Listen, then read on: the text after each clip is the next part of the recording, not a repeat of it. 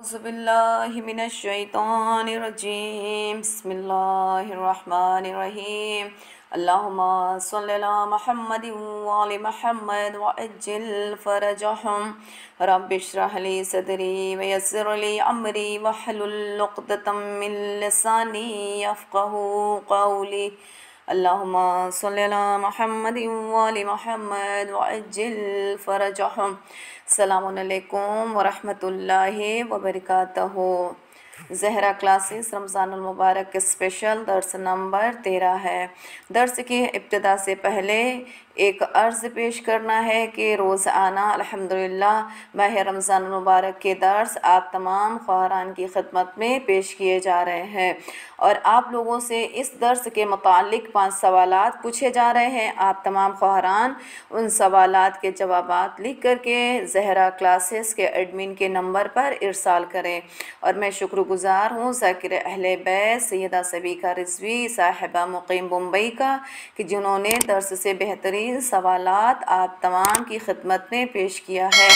अल्लाह से इनके हक़ में दुआ गो हूँ कि परवरदिगारा इनके तोफ़ीक़ात में इजाफ़ा करे। अल्लाह इनके आमाल को अपनी बारगाह में कबूल करे और अजर कसर इनायत करे। और परवरदिगार आलम हम सब के तमाम खदमात को अपनी बारगाह में कबूल करे इन दर्स के जानी बातें हैं और आज का दर्स जिस सूर्य की तिलावत हम करेंगे, वो सूरा सूर्य असर है। सबसे पहले सूर्य असर की तिलावत करते हैं।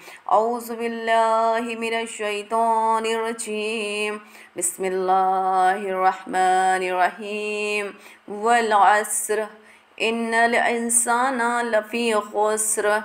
इल्लल्लज़ीन आमनु व आमिलुस्सोलिहाति वत्तवासो बिलहक़्क़ि वत्तवासो बिस्सब्र सदक़ल्लाहुल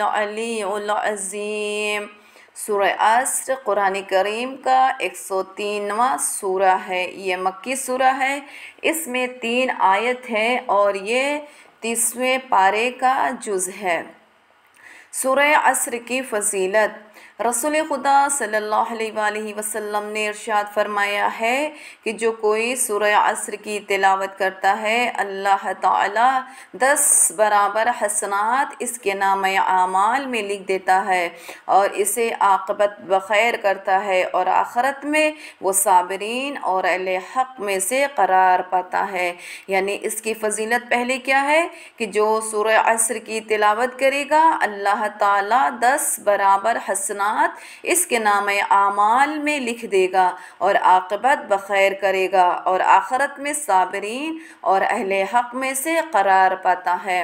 हज़रत रसूल खुदा अलैहि वसल्लम ने इर्शाद फरमाया है कि अगर कोई इस सूर्य को ज़मीन में दफन की जाने वाली किसी अशिया या किसी ख़जाने पर पढ़े तो अल्लाह ताला इसे महफूज रखता है जब तक ये ख़ुद इसे ना निकाले।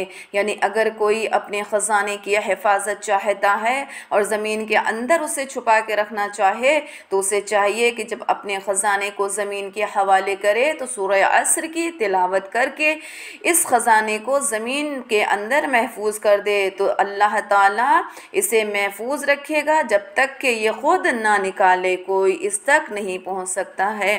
इमाम जाफ़र सदक ने इरशाद फरमाया कि जो शख्स इस सूर्य असर को मस्तहब नमाज़ों में पढ़ता है तो अल्लाह ताला रोज़ क़यामत इसे इस तरह उठाएगा कि इसका चेहरा चमक रहा होगा और मुस्कुराने के सबब दांत नज़र आ रहे होंगे और आँखें खुशी से रोशन होंगी, यहाँ तक कि बहिश्त में दाखिल हो जाए। यानी सदक़ आल मोहम्मद ने फरमाया, मुस्तहब नमाज़, कोई भी मुस्तहब नमाज़ पढ़ें आप। ज़ारत इमाम हुसैन है, नमाज़ गफ़ैला है नमाज़ ज़ारत इमाम हुसैन है, आप नमाज़ शब है, या दीगर जो भी मुस्तबात नाफिल आप पढ़ती हैं, उसमें अगर सुर असर की तिलावत की जाए तो चेहरा क्या है? रोज़ क़यामत, चमक उठेगा और मुस्कुराने के सबब दांत नज़र आ रहे होंगे और आँखें रोशन होंगी। यहाँ तक कि खुदा दाखिले बहिश्त करेगा। तो परवरदिगार आलम से दुआ है कि अल्लाह ताला हम सबको तिलावत क़ुरान और ख़ास करके सूर याद करने की तोफ़ी इनायत करे, जो मुख्तसर मुख्तसर सूरे हैं छोटे छोटे सूरे हैं। आप तमाम तालिबात ग्रामी कोशिश करें कि इन सूरों को याद कर लें ताकि इन फजीलत फजीलतों के हामिल हो जाए। अल्लाह ताला हमें भी ये फजीलत, ये मनसब इन अता करे। तो हमें कोशिश करना है कि इन सूर्य की तिलावत की जाए अपने मुस्तहब नमाज़ों में। सुर असर का तर्जुमा। बिसमीम शुरू अल्लाह के नाम से, जो बड़ा मेहरबान और ज़्यादा रहम करने वाला है। वलअस्र कसम है अहद। हज़रत इमाम ज़मान की इंसान लफ़ी खुसर। बेशक इंसान घाटे में है। इल्लज़ीना आमनु वमिलसलहत वतवासो बिलहक़, वतवासो बिसब्र सिवाय इन लोगों लोगों के जो ईमान लाए, अमल साल करते हैं और एक दूसरे हक व सब्र की वसीहत और नसीहत करते हैं। यानी इंसान घाटे में है, लेकिन कौन सा इंसान घाटे में है? जो साहिब ईमान नहीं है, लेकिन वो इंसान घाटे में नहीं है कि जो ईमान लाया, अमल साल करते हैं। एक दूसरे हक़ और सब्र की वसीयत और नसीहत करते हैं। यानी इंसान, वो इंसान घाटे में नहीं है जो अमल साले कर रहा है, जो एक दूसरे के हक़ और सब्र की वसीयत और नसीहत कर रहा है। सिर्फ़ वसीयत और नसीहत नहीं, बल्कि उस पर अमल करने की कोशिश करें, क्योंकि हम सुनते तो हैं, लेकिन अमल की मंजिल पर हम बहुत दूर हैं। तो आप दर्स सुनते वक़्त खुदा वंद मताल से दुआ किया करें कि जिस तरह अल्लाह ने दर्स में आने की तोफ़ी अता की है। हमारे क़ल्ब को मुनवर किया है। इसी तरह परवरदिगार आलम हमें इस पर अमल करने की तोफ़ी अता करे इन कि हम जैसे माह रमज़ान मुबारक के दूसरे अशरे में दाखिल हैं और अल्लाह ताला से दुआ है कि हम सबको इस माह रमज़ान के बेहतरीन इबादत करने की और बेहतरीन सआदत हासिल करने की तोफ़ी इनायत करे। परवरदिगार आलम, हम सब के आमाल को अपनी बारगाह में कबूल करे। माह रमज़ानमबारक के तेरहवें दिन का सवाब। हज़रत रसूल खुदा सल्लल्लाहु अलैहि वसल्लम ने फरमाया कि माह रमज़ानमबारक में अल्लाह ताला तेरहवें दिन तुम्हारे लिए अहल मक्का व मदीना की इबादत का सवाब लिखेगा और जितनी मकदार में पत्थर और रेत मक्का और मदीने के दरमियान वाक़ हैं, इतनी मकदार के लोगों के लिए शफात करने का हक़ तुमको अता करेगा। यानी आज का दिन कितना बाबरकत दिन है। पहले मैं थोड़ी सी तशरी करती हूँ, फिर आपको बताती हूँ कि ये दिन इतना बाबरकत क्यों है। और इस दिन के एक मुख्तसर से आमाल है जो आप सब तमाम नाजरीन, तमाम सामाइन कोशिश करिएगा कि इस पर अमल कर ले जाएँ इन पहले ये कि तेरहवें दिन का सवाब रसूल खुदा सल्लल्लाहु अलैहि वसल्लम ने फरमाया कि अहल मदीना और अहल मक्का की इबादत का सवाब लिखेगा। और जितनी मकदार में पत्थर और रेत मक्का और मदीना के दरमियान वाक़ हैं इतनी मकदार के लोगों के लिए शफात का हक तुमको अता करेगा। किसको अता करेगा? जिसके रोज़े अल्लाह ताला की बारगाह में कबूल हो गए हैं, जो अल्लाह से नज़दीक हो गए हैं। अपने किरदार से, अपने आमाल से, अपनी रफ्तार से जो खुदा से करीब तरीन हो गए हैं, उनको ये सआदत अल्लाह अता करेगा कि जितनी मकदार में मक्का और मदीने के दरमियान, जितनी मकदार में पत्थर और रेत हैं, अल्लाह इन सब की शफात करने का हक तुमको अता करेगा। तो माह रमज़ान मुबारक की शब तेरह, शब चौदह और शब पंद्रह, बड़ी बाबरकत रात है। और इस रात की फजीलत के बारे में सिर्फ़ एक रवायत मैं यहाँ पर नकल करूँगी, ताकि आप सब लोग कोशिश करिएगा कि इस पर अमल कर ले जाए। शेख अलकफ़नी ने एक रवायत को लिखा है कि इस दुआए मुजीर के जेल में, कि ये दुआ, दुआए अजीमुशान है। राइटर के नाम है शेख अलकफ़नी। ये दुआ, दुआए अजीमुशान भी है, दुआए रफ़ीक़ुशान भी है। क्यों कहा? सरकारी ख़त्मी मरतबत अहमद मुशतबा महमद मुस्तफ़ा सल्ला वसलम तशरीफ़ फरमा थे हिजर इसमाइल में। जब हिजर इसमाइल में रसूल खुदा तशरीफ़ फरमा थे तो जबरेल अमीन नाजिल हुए। आप पर और बहुक में खुदा आपको खुदा का दरूद पैगाम दिया और उसके बाद फरमाया कि, ए हबीबी खुदा, अल्लाह ने आपको दुआ की शक्ल में एक तोहफ़ा दिया है। इस दुआ में, इसमें आज़म है। इस दुआ को दुआ ए मुजीर कहते हैं कि उसकी, इसमें अल्लाह का नाम मुजीर मौजूद है। और फरमाया कि इसमें जो दुआ के नाम हैं, वो अलग अलग पार्ट्स रखे गए हैं। अगर आप इन पार्ट्स की तादाद को काउंट करेंगे तो 88 ये तादाद बनती है और अल्लाह ने इसके जुमले को ब्रेक किया है। इसमें हर जुमले के साथ आपको दो जुमले नज़र आएँगे। वो क्या है? सुबहान का तलता यानी ये इस्तेमाल हुआ है मुजीर। और उसके बाद में है कि अजिरना मिनन्नारे या मुजीर। यानी आप अगर देखेंगे तो अल्लाह ने ब्रेक कर, करके इस्तेमाल किया है। अब इसमें हम सबसे पहले समझने की कोशिश करते हैं कि मुजीर क्या है। और मुजीर किसे कहते हैं? मुजीर के माने क्या हैं? तो मुजीर के माने हैं, पनाह देने वाले को मुजीर कहते हैं। और अजिरना मिनन्नार या मुजीर, यानी मुजीर के माने हैं पना देना। अब हम जो आगे पढ़ते हैं, अजरना मिनन्नार या मुजीर, हमें आतिश दोसख या जहन्नम से पना अता कर दे। इस दुआ में अल्फाज बहुत खूबसूरत हैं। दुआ की फजीलत बहुत ज़्यादा है। तीन दिन, तीन रातें हमारे पास बड़ी अजीम है, जिसमें ये दुआ पढ़ी जाएगी। इसका फ़ायदा क्या है? अगर इस दुआ के बारे में हम बयान कर रहे हैं कि इस दुआ को तीन दिन आपको पढ़ना है, चाहे आप तीन दिन शब में पढ़ लीजिए और चाहे तीन दिन आप दिन में पढ़ लीजिए तो इसका फ़ायदा क्या होगा? इसका फ़ायदा ये होगा सामाइन इकराम, नाजरीन इकराम, कि खुदा इसके गुनाह बख्श देगा। अगर गुनाह की तादाद आसमान के सितारों के मान मानंद ही क्यों ना हो? तब भी परवरदिगार आलम अपनी रहमानियत के सदक़े में हमारी गुनाहों को बख्श देगा। और किसकी गुनाह को बख्शेगा जिसने इस दुआ मुजीर की, तलावत की है। फिर फरमाया कि अगर इसके गुनाह दरख्त के पत्तों के बराबर हों, तब भी परवरदिगार आलम इस दुआ के सदक़े में उसके गुनाह माफ़ फरमा देगा। और फिर फरमाया कि अगर इसके गुनाह की तादाद रेत के ज़र्रात के बराबर बराबर हो, तब भी परवरदिगार आलम अपने सदक़े में, इस दुआ के सदक़े में अल्लाह उसके गुनाहों को माफ़ कर देगा, क्योंकि खुदा खुदा को किसी की परवाह नहीं है। वो जो चाहता है, जो चाहता है, वो कर देता है। इस कलमात के सदक़े में खुदा दुआ मुजीर के पढ़ने वालों के गुनाहों को माफ़ कर देगा। ये दुआ अगर मकरूस पढ़े तो इसका कर्ज अदा हो जाएगा। अगर कोई बीमार है और बीमार बीमारी के आलम में इस दुआ को पढ़ करके अपने ऊपर दम करे तो इस दुआ के सदक़े में अल्लाह उसे शिफा अता करेगा।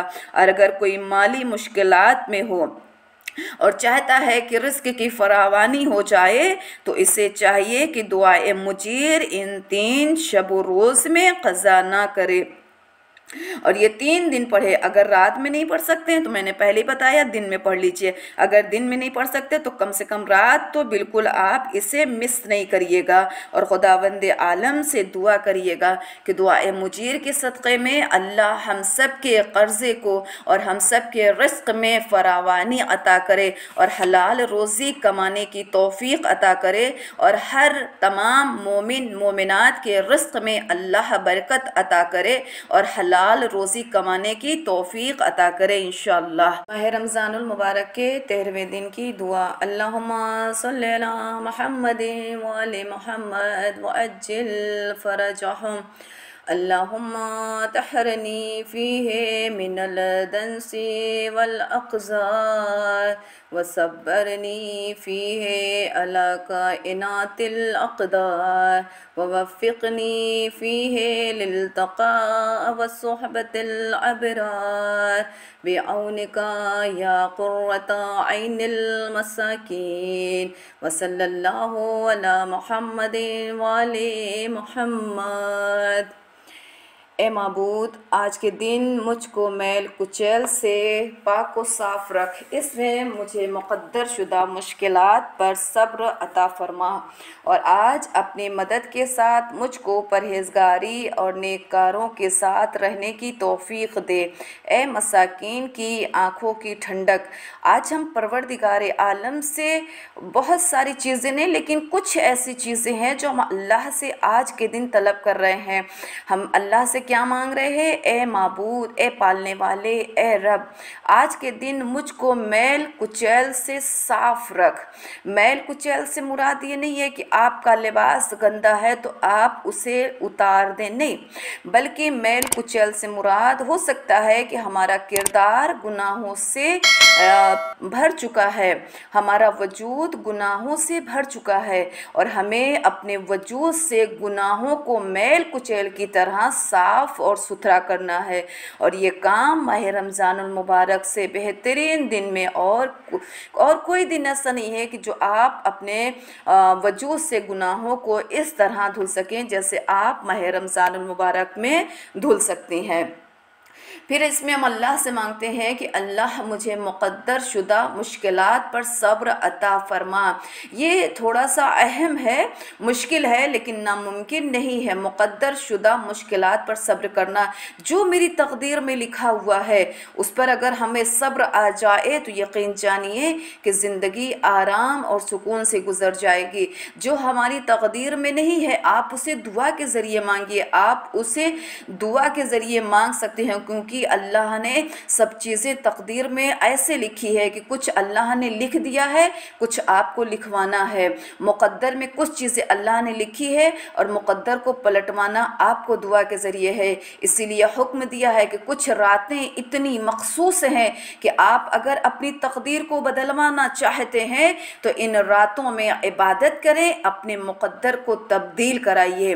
ताकि परवरदिगार आलम हमारी तकदीर में जो कुछ लिखा हुआ है है, जो नहीं लिखा था, उसे आप लिखवाइए। और आज अपनी मदद के साथ मुझको परहेजगारी नेक कारों के साथ रहने की तौफीक दे। ए खुदा, हम दुआ करते हैं, परहेजगार लोगों के साथ हमारा उठना, बैठना हो जाए। हमें तौफीक दे कि हम मुत्तकी, परहेजगार, नेक लोगों के साथ रहने की तौफीक मिल जाए। अगर हम ग्यारह महीने गफलत में थे, ग्यारह महीने हमें इस बात का होश नहीं था कि हम किसके साथ बैठ रहे हैं, किसके साथ उठना है, किसके साथ बैठना है, किसके साथ चलना है तो कम से कम एक महीने में हम इस बात पर अमल करें कि हमारा उठना किसके साथ है और हमारा बैठना किसके साथ है, ताकि रोज़ क़यामत परवरदिगार आलम इन नेकियों में इन परहेजगारों में हमारा नाम शामिल कर सके इन ए मसाकिन की आँखों की ठंडक, हम खुदा वंद आलम से दुआ करते हैं कि परवरदिगारा, माह रमज़ानमबारक की यह शब तेरह है। हमारे नज़दीक और अल्लाह इस रात के सदक़े में हम सबको यकीनन हमारे किरदार से, हमारे वजूद से गुनाहों को मिटा दे। परवरदिगारा, हमारे मुक़द्दर में अगर कुछ चीज़ें नहीं लिखी है और हम चाहते चाहते हैं कि हमारा मुक़द्दर बदल जाए, हमारी तकदीर बदल जाए, हम कामयाब हो जाएँ, हम कामरान हो जाएँ, हम तरक्की याफ्ता हो जाएँ। तो परवरदिगारा, आज की शब तो हम सब की तकदीर को बदल देना और आज अपनी मदद के साथ हम सब का शुमार परहेजगार, नेककार लोगों में करना। ए मसाकिन की आँखों की ठंडक, ए परवरदिगारा, तू हम सब की दुआओं को मुस्तजाब करना इन ये दर्स के दूसरे पैराग्राफ के जानब चलते हैं, जो हम मुसलसल माह रमज़ान के रोज़े के अहकाम बयान करते आ रहे हैं। आज भी रोज़े के अहकाम को आप तमाम की खिदमत में बयान करती हूँ कि मसला नंबर एक हज़ार पाँच सौ इकसठ, बच्चा या परिंद ने, परिंदे को खिलाने के लिए गज़ा का चबाना या गज़ा का कुचलना और इस तरह का काम करना जिसमें गज़ा उमूमन हलक तक नहीं पहुँचती हो। ख्वा वो इत्तेफाकन हल्क तक पहुँच जाए तो रोज़े को बातिल नहीं करती है। यानी अगर बच्चा बहुत छोटा हो या परिंदा हमने कोई पाल रखा हो, उसे गज़ा खिलाना है। अब कुछ माएँ अपने मुँह में उस गज़ा को चबा करके बच्चे को खिलाती हैं ताकि बच्चे को बाइट करने में आसानी रहे, बच्चे को चबाने में आसानी रहे। अगर ये गज़ा हलक तक नहीं पहुँच रही है और इत्तेफाकन अगर पहुँच गई है तो इससे रोज़ा क्या है? बातिल नहीं होगा। लेकिन अगर इंसान शुरू से जानता हो कि ये गज़ा हलक तक पहुँच जाएगी तो इसका रोज़ा बातिल हो जाता है और ज़रूरी है कि इसकी कज़ा बचा लाए और कफ़ारा भी इस पर वाजिब है। यानी अगर हमें ये पता है, हम शुरू से जानते हैं कि ये गज़ा अगर हमने अपने मुँह में रख करके चबाया तो ये गज़ा हमारे हलक तक पहुँच जाएगी तो इससे रोज़ा हमारा क्या है? बातिल हो जाएगा। और इस रोज़े की कज़ा भी हम पर वाजिब होगी और कफ़ारा भी हम पर वाजिब हो जाएगा। मसला नंबर एक हज़ार पाँच सौ बासठ। इंसान नकाहत की वजह से रोज़ा नहीं छोड़ सकता, लेकिन अगर नकाहत इस हद तक हो कि अमूमन बर्दाश्त ना हो सके तो फिर रोज़ा छोड़ने में कोई हर्ज नहीं है। नकाहत यानी कमज़ोरी इस कदर हो कि हम बर्दाश्त नहीं कर सकते हैं।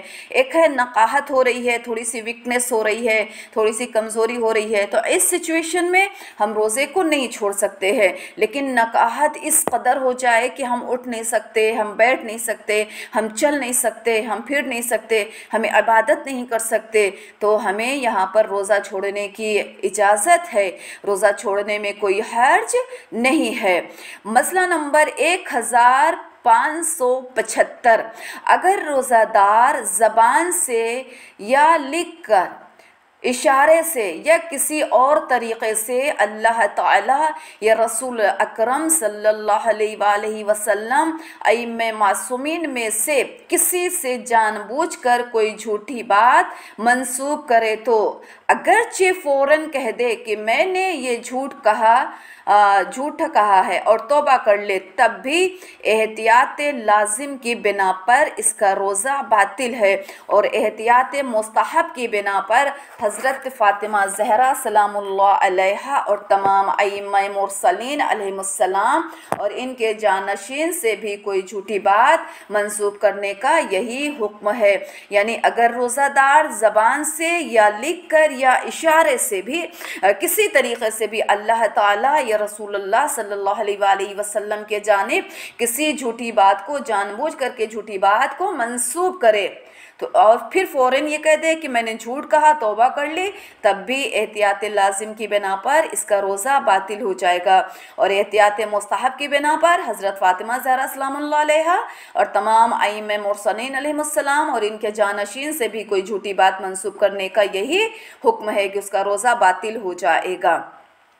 मसला नंबर एक हज़ार पाँच सौ अठहत्तर। अगर रोज़ादार किसी चीज़ के बारे में ये जानते हुए कि झूठ है, इसे अल्लाह ताला और रसूल अकरम सल्लल्लाहु अलैहि वसल्लम से मंसूब करे और बाद में इससे पता चले कि ये जो कुछ इसने कहा था, वो दुरुस्त था और जानता था कि ये अमल रोज़े को बातिल कर देता है तो एहतियात लाजिम के बिना पर ज़रूरी है कि रोज़े को तमाम करे और इसकी कज़ा भी बजा लाए। यानी अगर रोज़ादार किसी चीज़ के बारे में ये जानते हुए कि झूठ है, इसे अल्लाह ताला रसूल अकरम सल्लल्लाहु अलैहि वसल्लम से मंसूब करे और बाद में से पता चले कि जो कुछ इसने कहा था वो सब सही था और जानता था कि यह अमल रोज़े को बातिल कर देता है। तो एहतियात लाजिम की बिना पर ज़रूरी है कि रोज़े को तमाम करे और इसकी कज़ा भी बजा लाए। माह रमज़ान मुबारक के तेरहवें दिन की नमाज़ रहमालय ने में माह रमज़ान मुबारक के इन खसूसी नमाज़ को लिखा है। शब तेरह चार रकत नमाज़ है। हर रकत में सूर हमद के पच्चीस मरतबा सूर तोहद की तिलावत करे और खुदा वंद आलम हम सबको माह रमज़ान मुबारक में बेहतरीन इबादत करने की तोफ़ी अता करे। वाजिबात को अंजाम देने की तोफ़ी अता करे। तमाम मुहर्रमात से बचने की तोफ़ी अनायत करे। इल्म दीन दीन हासिल करने की तोफ़ी अता करे, इल्म पर अमल करने की तोफ़ी इनायत करे। ख़ास दुआ मौलाना कर्रार ख़ान क़दीरी के हक़ में कि परवरदिगार आलाम इनकी मेहनत को इन पर अजर कसर इनायत करे और इनकी तोफ़ीक़ात में इजाफ़ा करे। अल्लाह दीन और दुनिया में इन्हें कामयाबी और कामरानी अता करे। अल्लाह दीन और दुनिया में इनकी तमाम हाजतों को अपनी बारगाह में कबूल करे। आखिरी दुआ इमाम ज़मान अज्जल्ला फरजो शरीफ के ज़हूर में ताजील करे और हम सबको उनके अवाम अनसार में शुमार करें इन